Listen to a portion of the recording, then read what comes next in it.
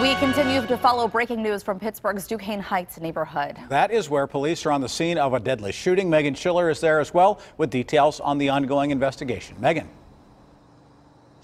Good morning, guys. And detectives actually did just leave the scene here at Plymouth Street. We have confirmed this is a fatal shooting. We have been allowed to get a little closer to where this happened. I'm standing right in front of where the victim was lying on the grass, just steps away from the front porch of this home here in Plymouth Street in Duquesne Heights. We're right off of Grandview Avenue, right here in Mount Washington. Police have confirmed that that victim was found shot multiple times, lying in the street. Take a look at the video that we captured when we arrived here on the scene. We know this shooting happened just before 3 this morning. That victim found lying on the ground again shot multiple times. Right now, police are asking for anyone with any information to call the tip line. They have also not released any suspect information. We watch as detectives focus their attention not just in the front lawn, but also on the sidewalk across the street.